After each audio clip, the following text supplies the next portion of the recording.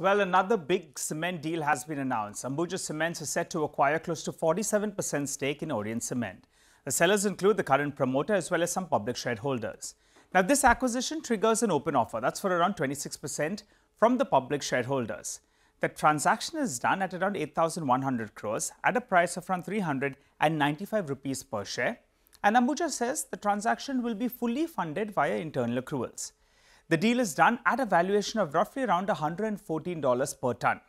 Remember, Orient Cement is also virtually debt free. But the big question is how does it help the acquirer, that's Ambuja Cements? Well, it increases their pan India market share by close to around 2% as they add 8.5 million tons of operational capacity and also 8.1 million tons of ready to execute projects as well. In addition to this, they also get access to high quality limestone mines in Rajasthan and that can support an additional 6 million tons of capacity in North India.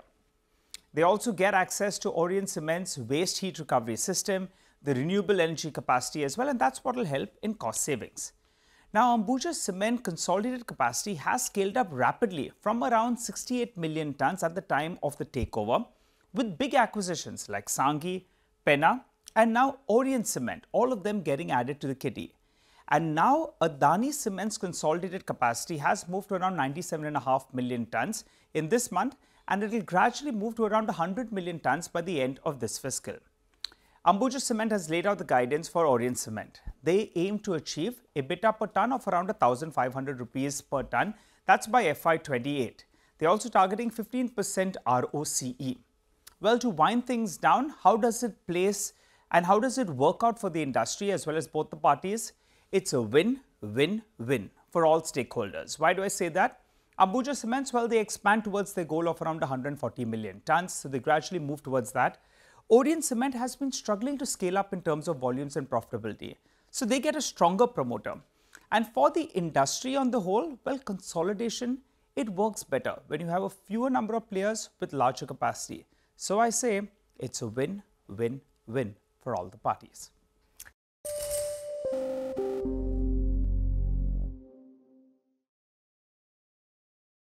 The last hour. Anything can happen between the bells. But what happens during the last hour is what matters the most. The biggest market swings. A close-up look at what's driving them and how the investors are reacting. Watch the most seasoned market mavens guide you through the most important hour of the trading day. NSE Closing Bell. At these times, only on CNBC TV 18 and CNBCTV18.com.